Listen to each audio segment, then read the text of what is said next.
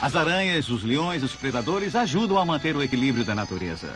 Por exemplo, os pássaros comem os insetos que prejudicam as plantas. E os coiotes comem ratos e outros roedores que podem transmitir doenças. Mas infelizmente os lobos já foram extintos em muitas partes do mundo. Mas você pode ajudar a trazer os lobos de volta. Escreva uma carta com um abaixo assinado para o representante do seu governo.